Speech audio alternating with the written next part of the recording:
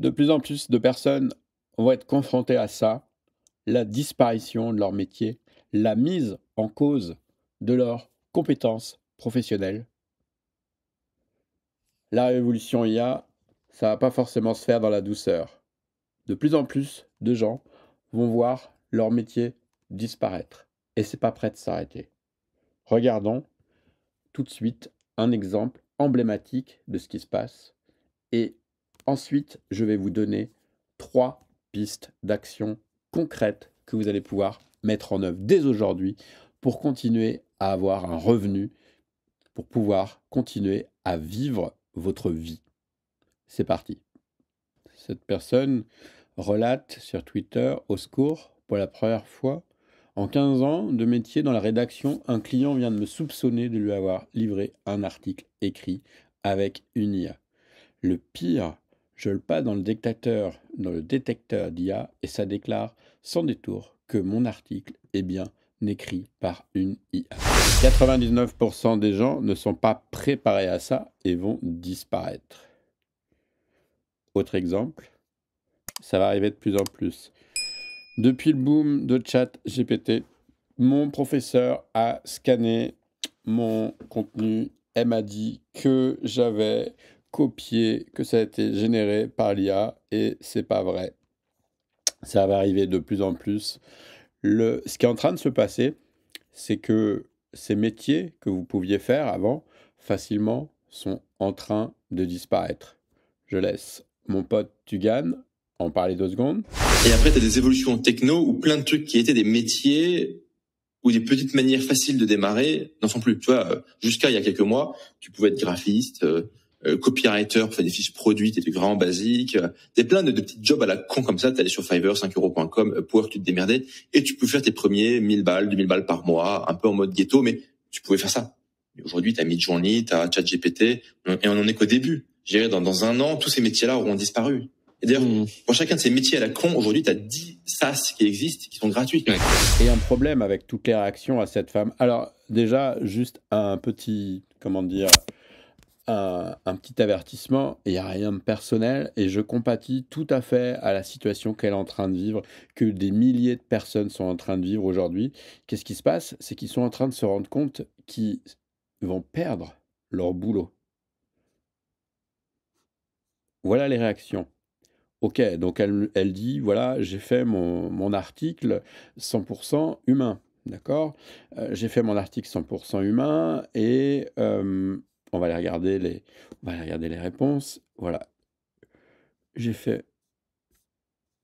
Les gens disent, oh mon Dieu, euh, est-ce que tu peux renvoyer le souhait, machin Elle dit l'article est béton, nanani, nanana. Pragmatiquement, je dirais que c'est au client de prouver que tu n'as pas rédigé le texte. Mais là, par exemple, ça c'est ça n'importe quoi. Euh, quand on est dans le business, tu vas dire à ton client, vas-y, prouve-moi que tu as rédigé le texte. Le client, en fait, il va se casser, quoi. Ça marche pas comme ça, le business. C'est pas, pas du tout ça, quoi. On n'est pas, on euh, chez Danone, on n'est pas au supermarché en disant, ouais, mes Danone étaient périmés, euh, remboursez-le-moi. Ça marche pas comme ça. Et là, ce qui se passe, le gros souci, c'est qu'on est en train, les gens sont, sont en train de se rendre compte que l'IA produit, dans bien des cas, des textes de contenu similaires ou meilleurs que ce que peuvent faire les humains. Et ça, c'est la révolution, quoi. C'est la révolution. Peut-être que vous n'êtes pas d'accord avec ça, mais à chaque, tous les quelques mois, là, il y a encore une nouvelle version de ChatGPT qui est en train de sortir, d'OpenAI, ça va s'enrichir et le fossé va se creuser de plus en plus. Ou, je dirais, on pourrait peut-être même dire, le fossé va se rapprocher de plus en plus. C'est-à-dire la distinction, la valeur que vous produisiez avant, elle, va disparaître de plus en plus. Donc que disent les gens? Et pourquoi je dis que tout le monde se trompe?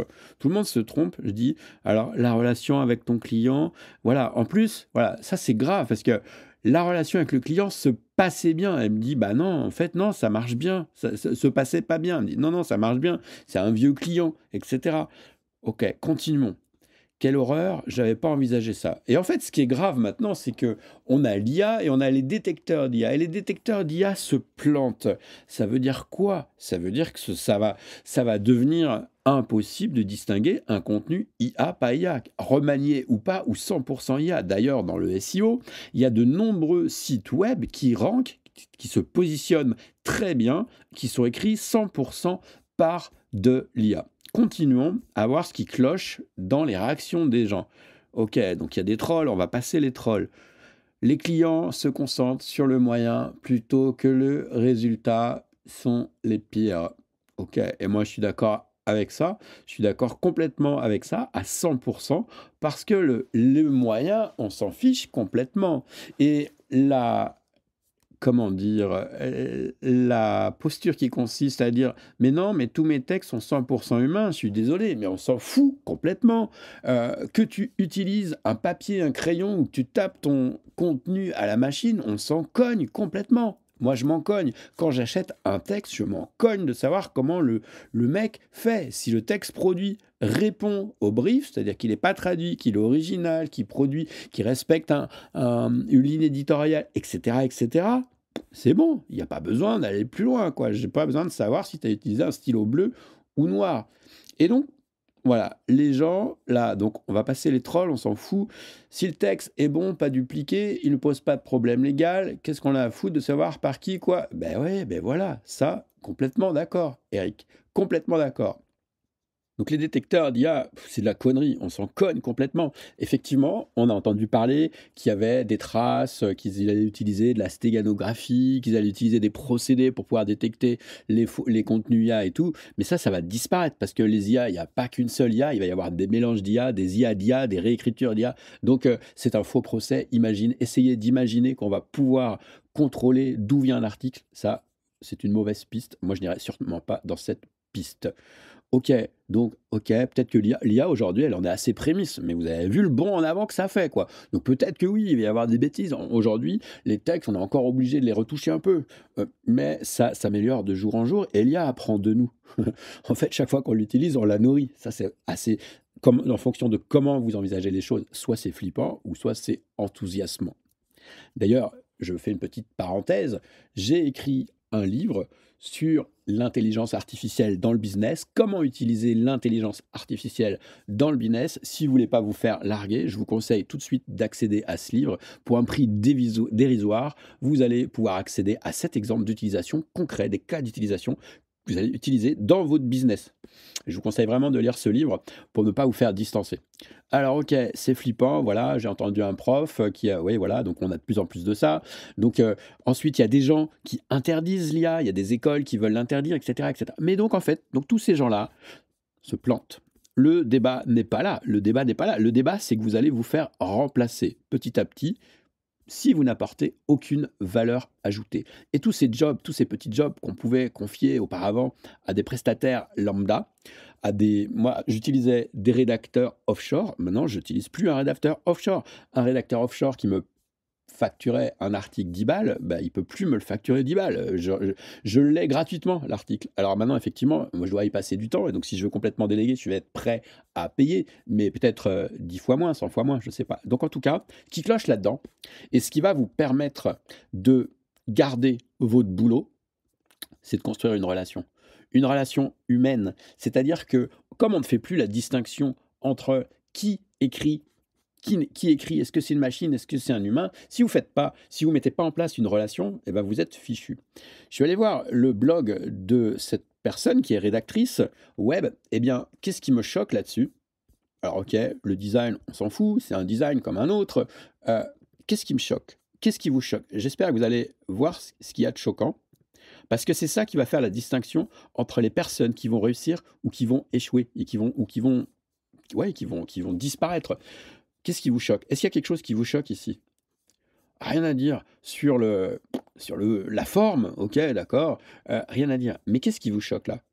En fait, ce site-là, c'est un site lambda. Je ne sais pas qui l'a écrit. Peut-être que c'est une machine derrière ça. Peut-être que c'est une IA. Il n'y a pas une photo, il n'y a rien de personnel.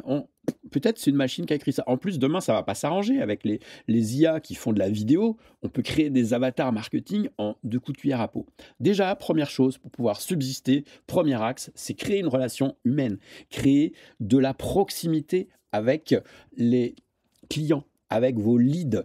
C'est le cas, par exemple, aussi euh, je pense qu'on change complètement de secteur. Dans le secteur adulte, où euh, on peut trouver du contenu adulte par, euh, par millions, on peut trouver tout type de contenu dans toutes les niches, comment vous expliquez le succès de services comme OnlyFans ou comme Mime Ok? Bah, la seule différence, c'est qu'il y a un contact, c'est qu'il y a du lien, c'est qu'il y a une relation. Si vous ne mettez pas en place ça, vous êtes fichu. Bon, deuxième, au passage, là, au passage sur le, sur le site, on a un souci, c'est que bah, c'est pas du tout optimisé pour le SEO. Donc ça, ça va, ça, ça va pas du tout, ça pas du tout. Donc ça aussi, euh, pour, le, pour le référencement, bah, faites les choses. Il y a un minimum à, connaître, il y a un minimum à mettre en place. Je vous renvoie d'ailleurs vers cette vidéo. OK. Deuxième solution. Donc, donc la première solution, il faut créer du contact, il faut créer une relation. Ça m'amène à la solution 2 et 3, c'est ce qu'appelle Tugan le minimum viable gourou. Donc si vous voulez subsister, il y a deux produits que je vous recommande de Tugan Barrage. Je vous ai mis deux liens dans la description évidemment, ce sont des liens affiliés, vous n'êtes pas obligé de passer par eux. Donc le premier produit que je vous recommande, c'est le produit de Tugan qui s'appelle... Ok, bienvenue à tous sur les RX 2.0. Voilà, qui s'appelle les RX 2.0. Je vous laisserai regarder ça en détail. Les RX 2.0, c'est un ensemble de cours que qu'assure Tugan qui vous permettent de lancer des business entre 10 et 100 k par mois. C'est une offre à abonnement. Le prix augmente régulièrement. Pour l'instant, ça reste accessible, 49 euros par mois. Il y a des lives toutes les semaines, il y a une communauté, il y a beaucoup de valeur. D'ailleurs, je vous renvoie vers cette vidéo où j'en parle plus en détail. Ça, c'est la première solution. Si vous n'avez pas de blé, c'est un no-brainer, utilisez ça, passez par ça et commencez à vous former au marketing et aux opportunités de business à partir du moment où il y a ChatGPT, les IA, le no-code, etc. Si vous voulez subsister, ça devrait être votre première action sans réfléchir. Alors tout le monde n'aime pas son ton, il est un peu bourrin, euh, mais tout ce qu'il dit, c'est ça vaut de l'or. Ce mec a généré des millions. Deuxième solution, si vous avez un peu plus d'argent, si vous n'êtes pas, fauché, moi je vous, je vous conseille directement de passer sur sa formation Le Rentier Digital. Donc c'est à 997 euros par an. Vous pouvez payer en plusieurs fois, je crois, ou pas. Non, vous pouvez pas payer en plusieurs fois. Et là, on rentre beaucoup plus dans. YouTube, c'est du contenu. Oh, là, c'est pareil. Je vous renvoie aussi vers cette vidéo si vous voulez rentrer plus dans le détail. Donc, euh, Tugan, là, nous présente en détail avec des masterclass sur tous les sujets, sur comment gagner de l'argent avec Internet et comment subsister aujourd'hui, comment faire pour pouvoir assurer sa survie sur Internet. C'est pour moi le meilleur marketeur qui existe, c'est le meilleur produit sur le marché aujourd'hui pour apprendre à faire du blé avec Internet et ne pas disparaître.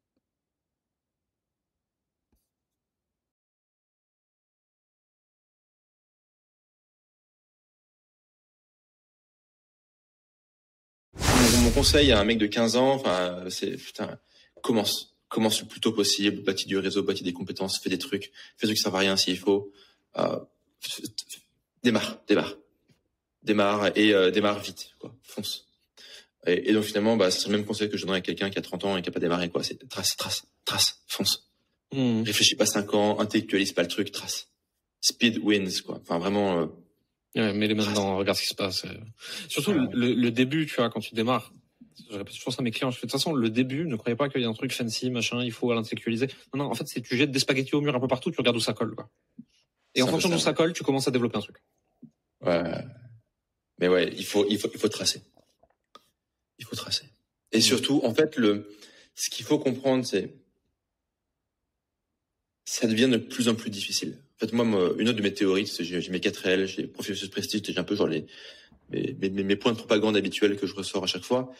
C'est euh, chaque jour qui passe, c'est beaucoup plus compliqué de faire de l'argent sur Internet et de devenir libre. En gros, pour faire simple, il y a quasiment pas d'autre moyen de devenir libre et de gagner du fric que Internet. Ok, c'est pas avec l'immobilier ou avec un job employé que vous allez le faire. C'est fini, plus maintenant. C'est via Internet. Très bien. Euh, sur Internet, c'est beaucoup plus difficile de jour en jour pour plusieurs raisons. Il y a beaucoup plus de concurrence. Trois raisons. Beaucoup plus de concurrence, beaucoup plus de conneries étatiques. Nous, quand on a démarré, moi, quand j'étais marié, il n'y avait pas de Vatmos. Je ne me sais pas ponctionner de 20%. Il n'y avait pas de RGPD. Il n'y avait pas de 3D Secure pour les paiements. Ça n'existait pas. C'est que le mec, il payait, il payait. Il n'y avait pas de, oh oui, on va faire ça que ça marche pas, quoi. Non, non. Tu vois, c'est, tu vois, bon. Euh, donc, les conneries gouvernementales, étatiques, rendre et les, les absurdes de l'Union européenne font que c'est toujours plus difficile et compliqué et plus cher de démarrer. Euh, et après, tu as des évolutions techno où plein de trucs qui étaient des métiers ou des petites manières faciles de démarrer n'en sont plus. Tu vois, euh, jusqu'à il y a quelques mois, tu pouvais être graphiste, euh, euh copywriter pour faire des fiches produits, des trucs vraiment basiques. T'as plein de, de, petits jobs à la con comme ça. T'allais sur Fiverr, 5euros.com, pour tu te démerdais et tu pouvais faire tes premiers 1000 balles, 2000 balles par mois, un peu en mode ghetto, mais tu pouvais faire ça.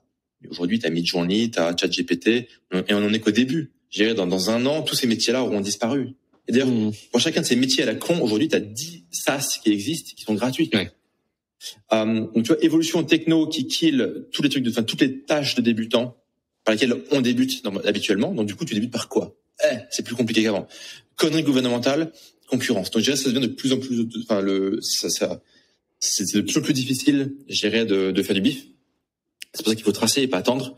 Ces gens qui font ah mais maintenant c'est compliqué la chat GPT. Ouais mais connard, ça fait cinq ans que je dis de faire de la thune, t'étais où? Ah mais j'avais Quidditch, je peux pas te faire enculer. Euh, et euh, le et le monde de demain, c'est quoi? Le monde de demain, c'est le film Elysium avec Matt Damon, qui c'est obligatoire, tout le monde doit avoir vu ce film-là. Euh, grosso modo, l'humanité est séparée en deux humanités, très bien. Donc, tu as les mecs